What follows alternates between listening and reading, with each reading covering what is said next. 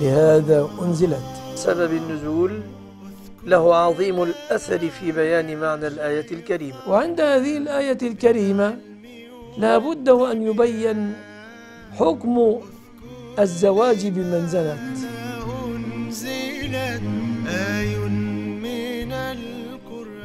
لما نزل على رسول الله صلى الله عليه وسلم إنكم وما تعبدون من دون الله حصب جهنم أنتم لها واردون. قال ابن الزبعري لأحاججن محمدا في ذلك. فعلى مريدي الاستقامة أن ينتقوا الصالحين من الأصدقاء فبهم يسعدوا وهم القوم لا يشقى بهم جليسهم.